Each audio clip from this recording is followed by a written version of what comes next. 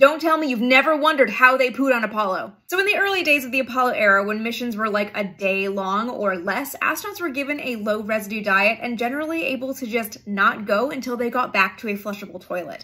But during the Gemini program, missions were starting to get longer, up to two weeks.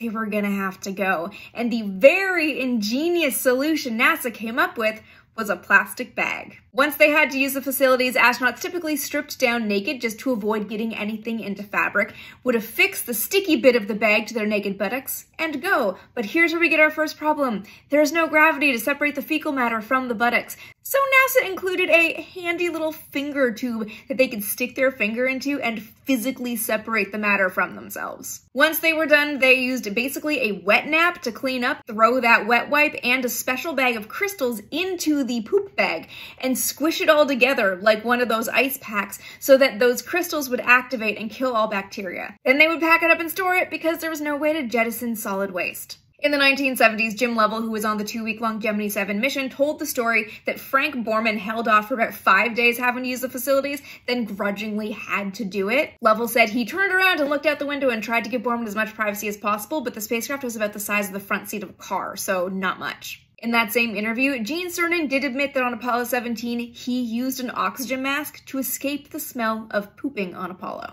Space isn't always glamorous.